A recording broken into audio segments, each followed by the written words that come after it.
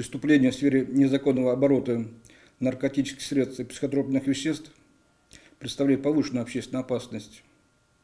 Совершаются лицами разных возрастных категорий, как мужского, так и женского пола.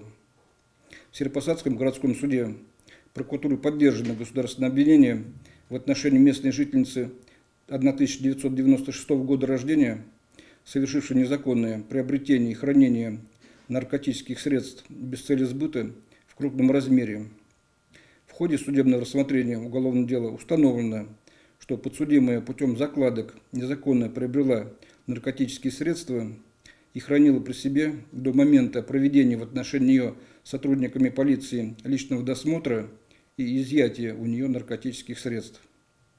По приговору суда подсудимая признана виновной совершении преступлений, предусмотренных статьями 228, часть 1 и статьи 228, часть 2 Уголовного кодекса Российской Федерации. Ей назначено наказание в виде трех лет 6 месяцев лишения свободы. При этом судом учтено, что на момент рассмотрения уголовного дела подсудимая находилась под стражей в состоянии беременности. Поэтому судом принято решение об отсрочке исполнения наказания в виде лишения свободы на срок ее беременности и до достижения родившимся ребенком 14-летнего возраста.